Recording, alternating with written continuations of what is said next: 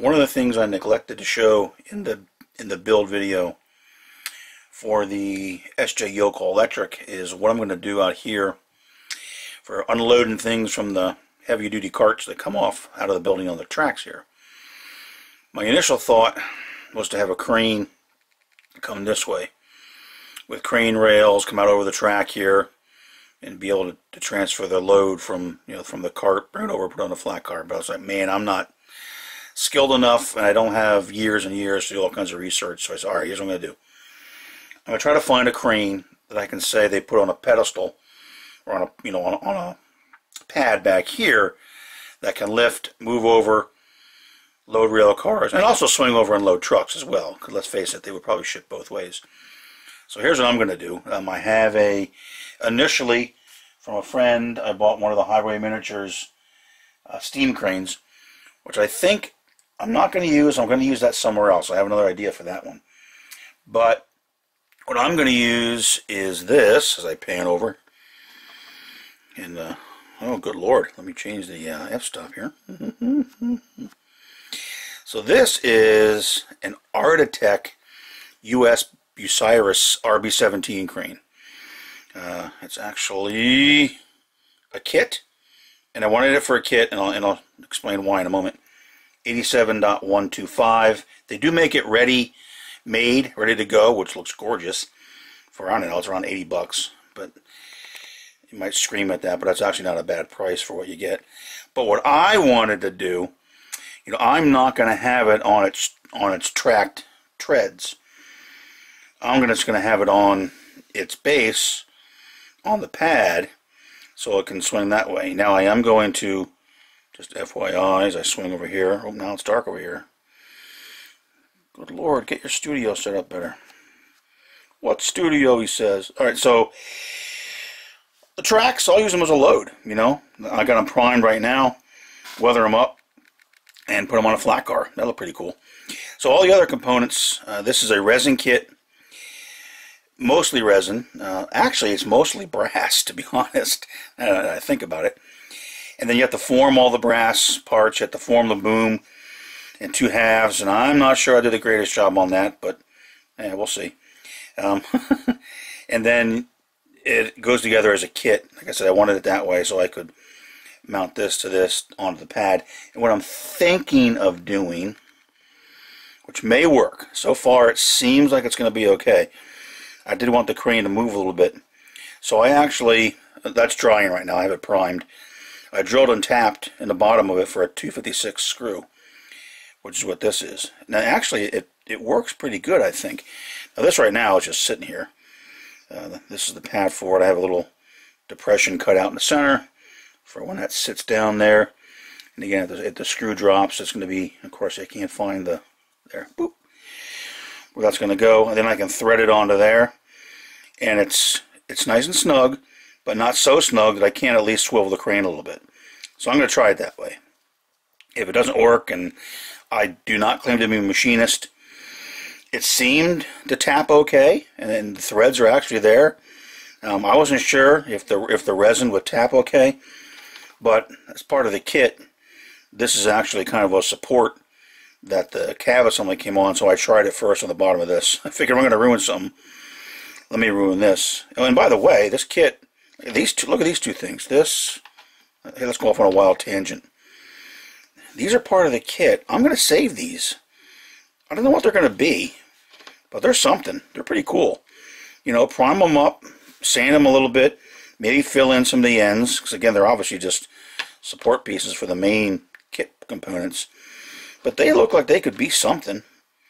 I don't know, counterweights or put them on a flat car and weather them. I don't know. They're just too cool to throw away. So more to come on whatever I decide to do with these little guys, but that's pretty cool. Anyway, I don't know where that came from.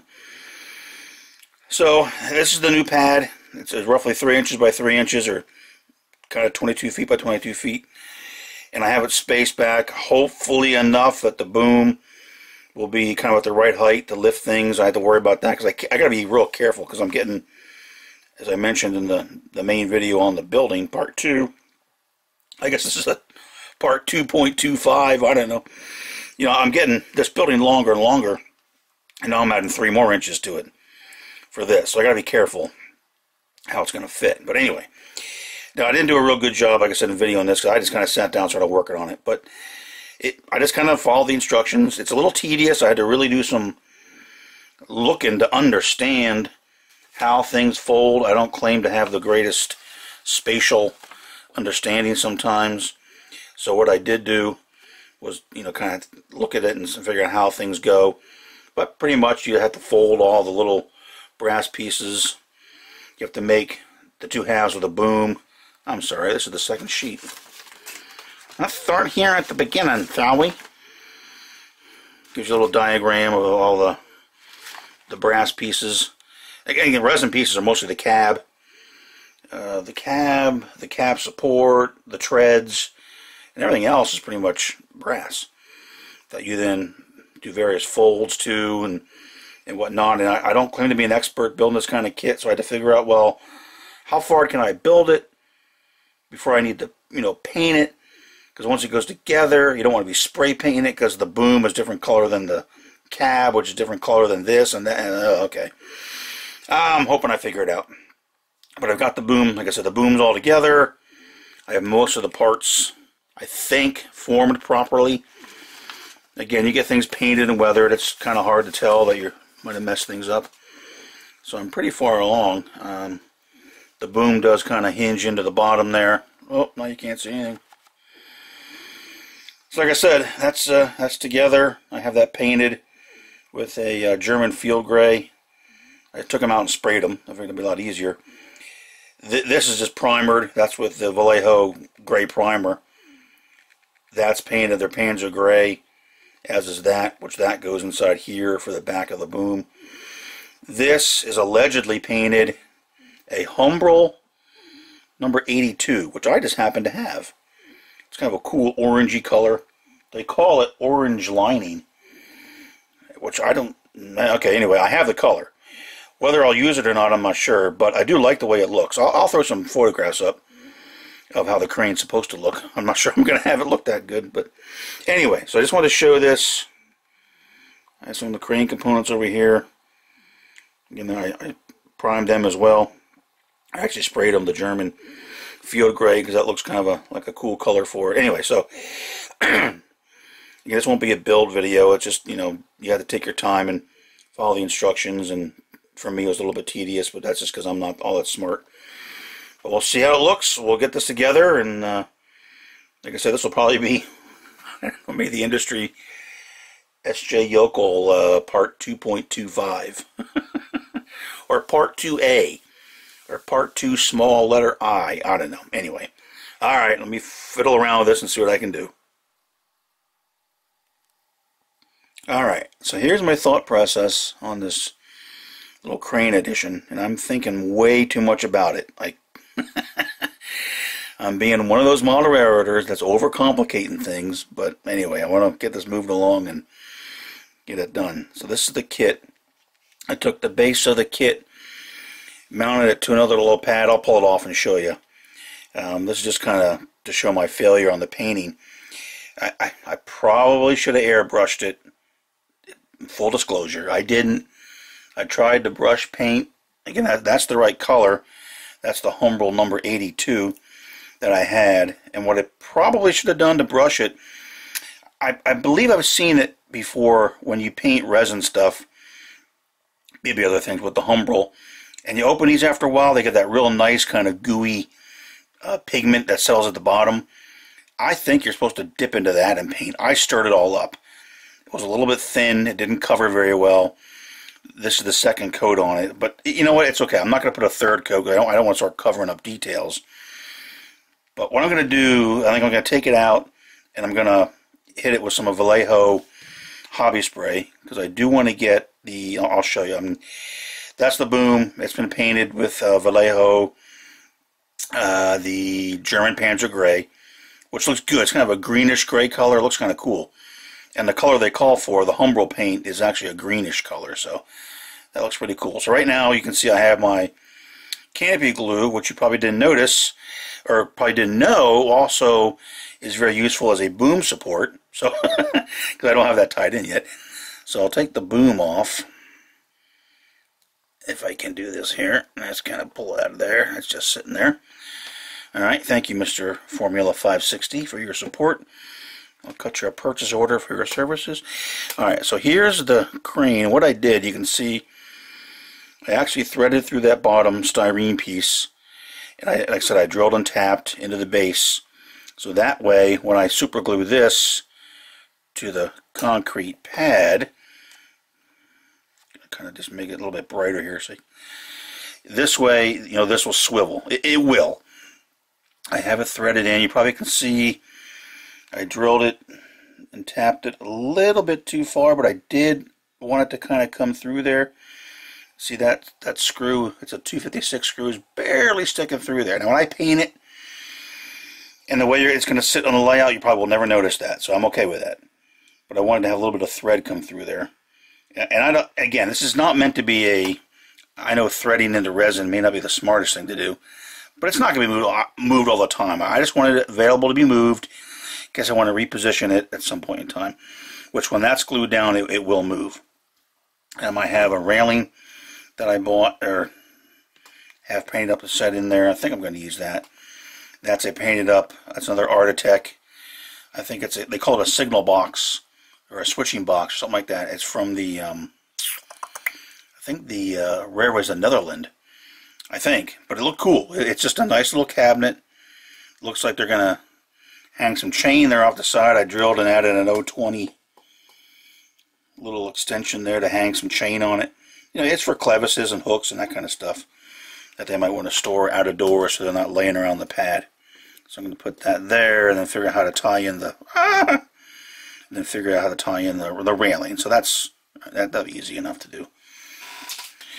So again, there's the pad painted. I did notch out a little bit for the screw.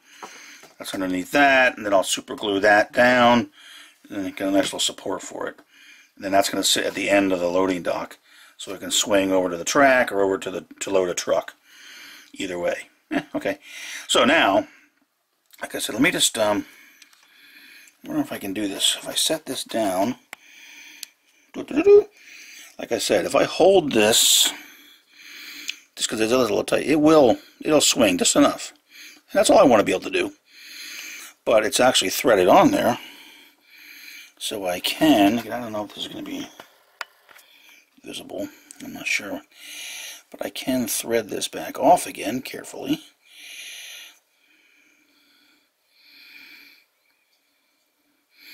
I don't know how many times I can do this. Again, I don't want to damage the threads. They're not in steel or anything, so I don't know how well tapped resin threads hold up. I have no idea.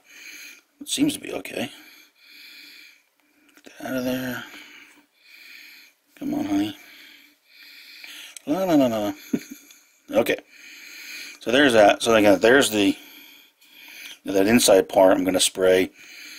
You know, I might just go with the, this is painted UK bronze green, which I love. That's a cool color too. but I might go with the German camouflage gray to kind of match the boom. Because it looks like the bottom part is painted a darker color. That way I'll get some color on the inside here, and that'll be paint, the, the control, little control stand goes in there. And it'll kind of weather the outside. So I think I might be able to save it. And it's just a crane, you know, it's not the Taj Mahal. Like I said, so that's been drilled and tapped underneath there.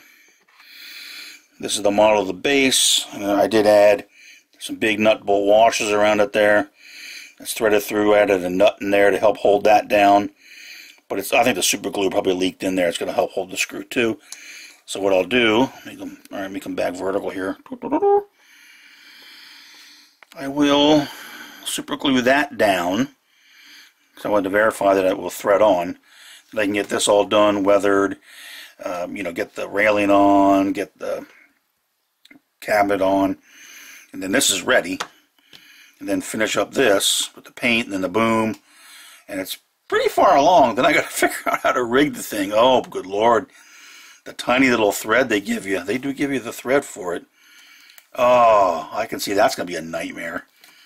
Especially for me. Alright, so I'm to take out the cab. That's the door. Here's the other part of the cab that's got to go on. And this, that's a folded brass piece. but they have some acetate to go inside it. So that's going to be painted. So I'm not going to put the glass in there, acetate glass, then try to spray paint it. That would be really nuts. All right, so we're moving along here. Let me uh, get this out. This boom looks really nice. I just like the way the, the brass looks as opposed to a plastic kit. Yeah. All right, let's see if I can save this and uh, make it look presentable and then get it ready to go on the layout. All right, time to wrap this up. So here's the um, the base, the additional pad for the crane.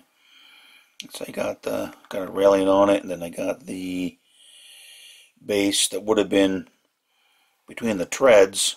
So they, okay, they brought it over here and they mounted it on this, and they bolted everything down, and it's nice and secure.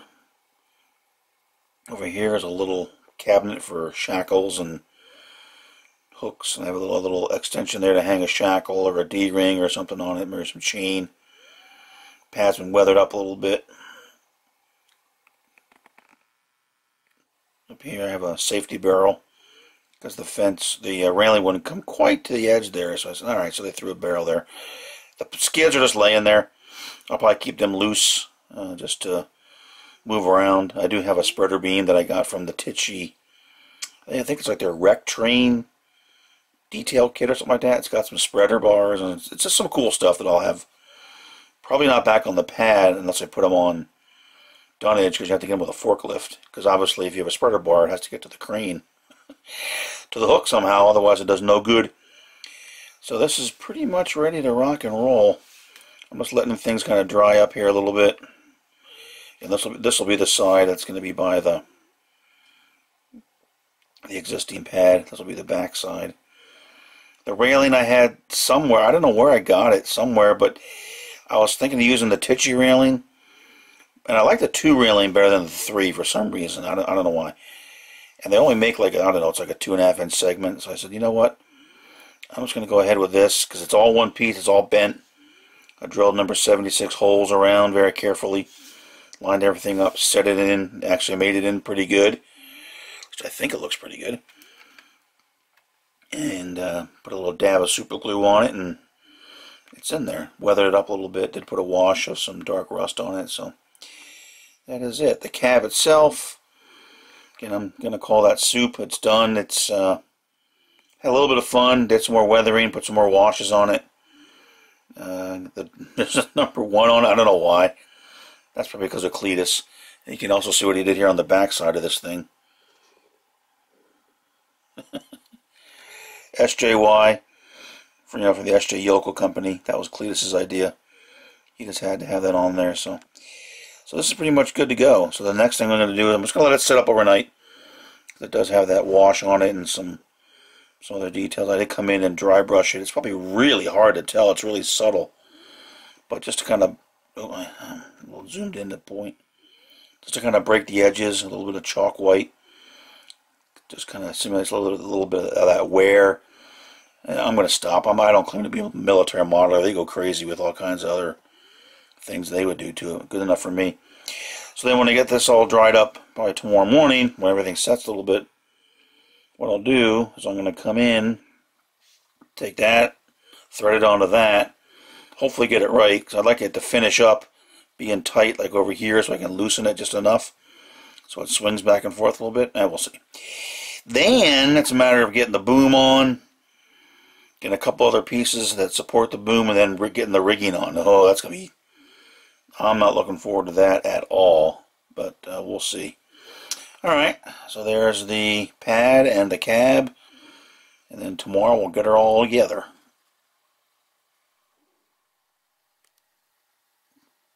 All right, here it is. More mistakes have been made, but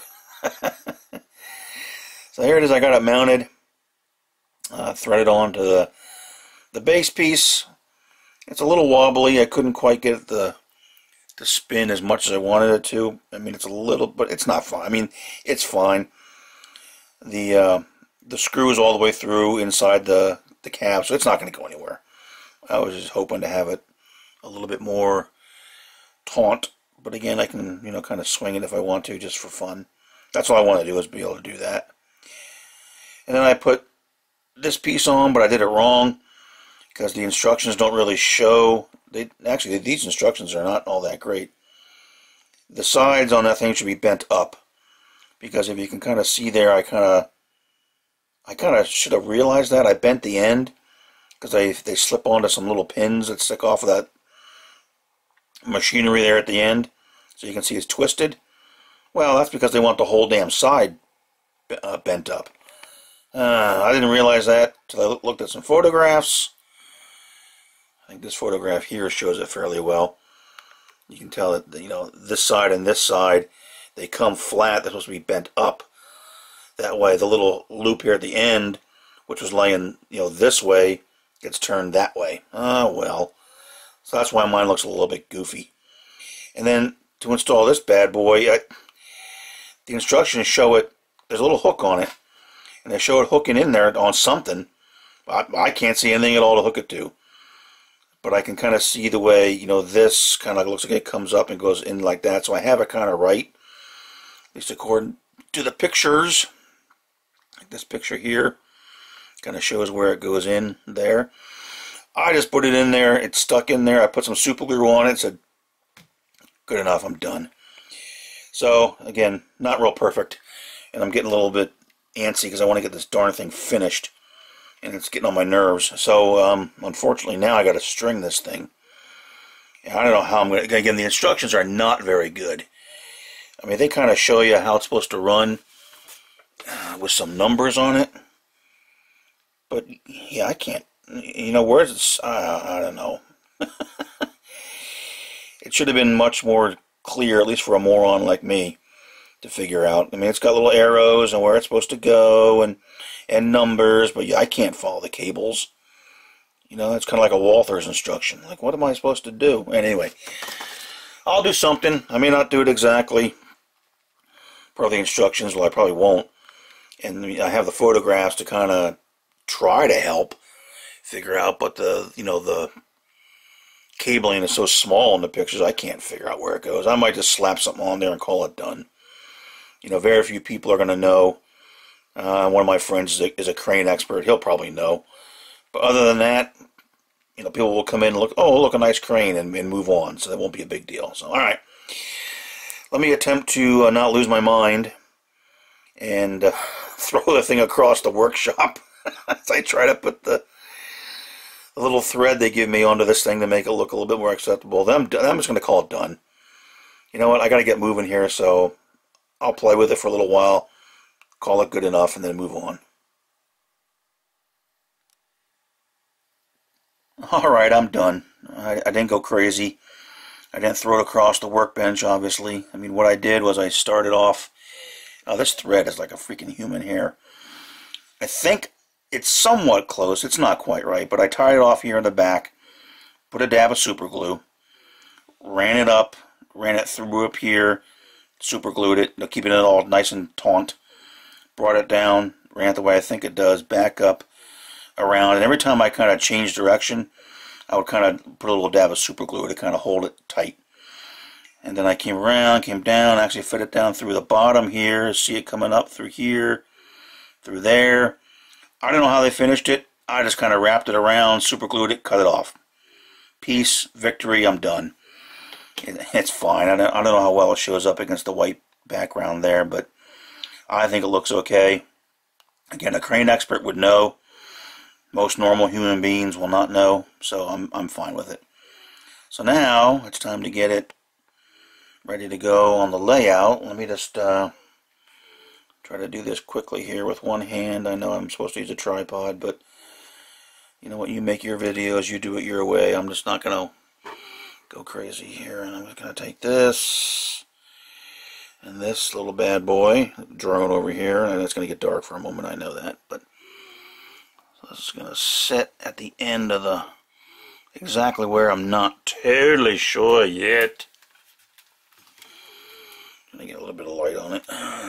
Again, this is not the, I can see I need to do some cleanup up top. So that's where it's going to sit at the end the intention being, you know, they roll the heavier stuff out, they can lift it mostly to go on flat cars, but also it'll reach over to the other side to load a truck. So that's that. calling it done. I'll probably do a little bit of paint just to cover up some of the shininess from the somewhat little excessive super glue I used to hold the thread in. So that's it. That's the crane. I hope it's somewhat realistic. I kind of like it. Again, I don't think I had the skills to put a crane here coming off the end, which I think would have looked cool as well. But I kind of like that look. Again, maybe it's an old military one that they got. You know, why they labeled it, I don't know. Cletus has had to play with it and put some initials on it and put a number on it just for fun. So, all right. That's it. Now, it's really time to get this thing over on the layout. Get it installed, and then do the final detailing of the pad and everything like that. So, all right, more to come. That'll be in a future update.